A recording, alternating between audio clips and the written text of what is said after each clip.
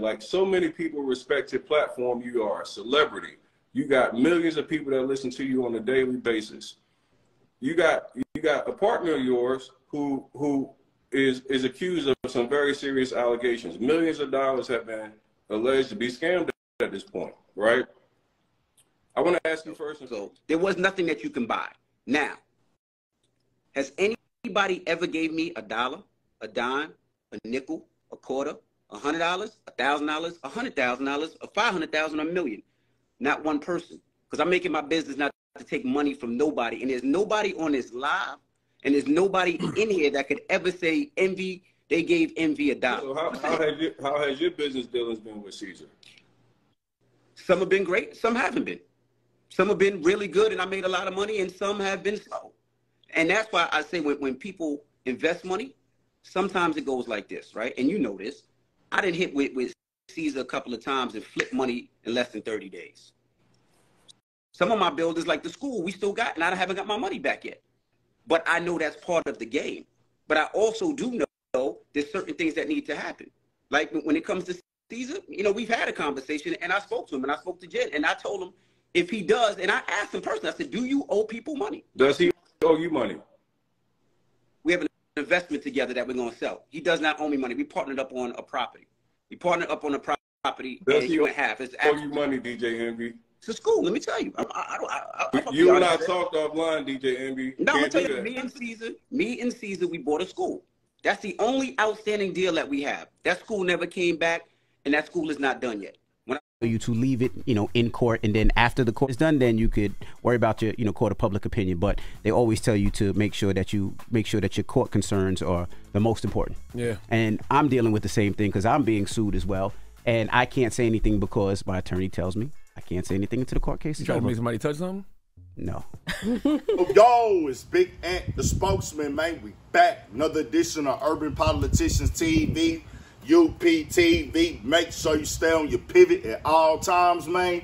Had to come tap in on DJ Envy and the roller coaster ride dog been on these past couple summer months, which started out as the back and forth with him and Rick Ross. And in the beginning, it was all jokes and fun. But then it got super disrespectful and turned up and was one of the biggest talking points online that week. But in the midst of all that happening, it started surfacing online that Envy was possibly in getting alleged to be involved in a Ponzi scheme, scam with real estate investments and things like that. And I put that live in the beginning because he had spoke with Tony the closer. People was accusing him and his business partner Caesar for taking money and not returning on what they was promising people. Now, Envy did come out and say, nigga, I ain't did nothing like that.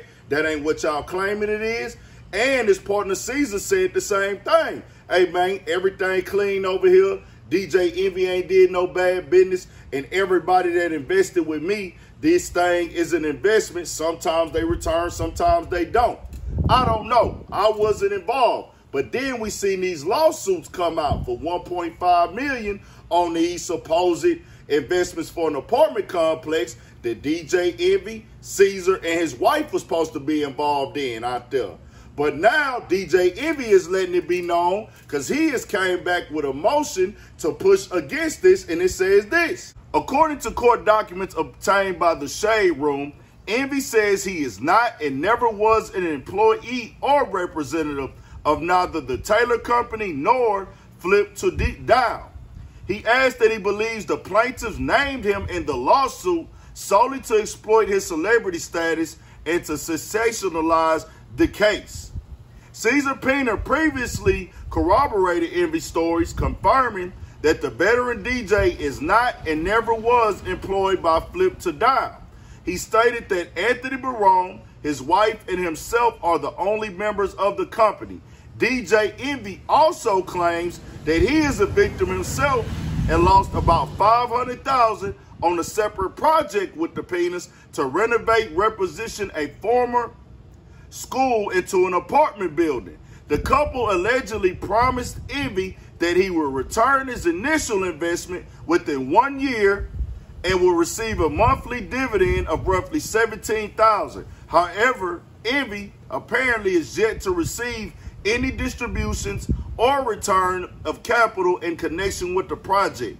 The collective are due back in court on September 8th to iron out the dispute. Now, that's a different tune right there. With Envy putting that in, it's separating himself from that. It is what it is. And we did see Caesar come out and say Envy had no wrongdoing, but according to these write-ups and documents, I'm not involved. That tune right there of Envy saying he's a victim of the finesse also for 500,000, that changes everything right there. And that's the only way I can take it. But if I'm wrong, I clear it up. But Caesar came out and let it be known, keep his wife out of it, that she ain't got nothing to do with this. She been holding him down and working, and people have basically left him out to dry, dirtying up his name, and he say he gonna get it all cleared up and understood. And people was tearing his wife down and him down, he gonna get everything straightened out, and he don't care what nobody got to say. And like I told y'all before, these things get tricky in business. I'm the nigga like this. I haven't saw no facts. I don't know how everything supposed to pan out in these investments or seminars and things like that.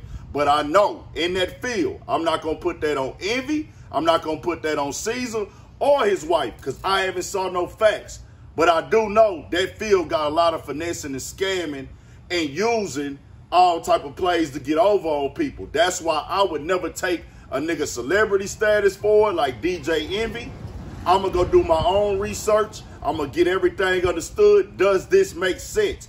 I'm not gonna put my last dollars on the table or all my hard-earned money invested into something that I ain't willing to lose myself. Because I'm gonna be real with y'all. Nobody should be getting finessed. Nobody should be getting scammed. That ain't the way to go. But if you did hand your money over to somebody and they finessed you out of it, and it ain't just no straight up taking and robbery and just, hey, I did this or ran off with your bread. At the end of the day, you're going to have to take responsibility unless it's clean cut in the courtroom. Clean cut that you got finessed and scammed. But we shall see. I believe in innocent till proven guilty. Tell me what y'all think. We got more coming. I just be wanting to put all sides out there. Envy put the motion in. Uh, Caesar say he innocent. Everything will come out as facts. Tell me what y'all think. More coming.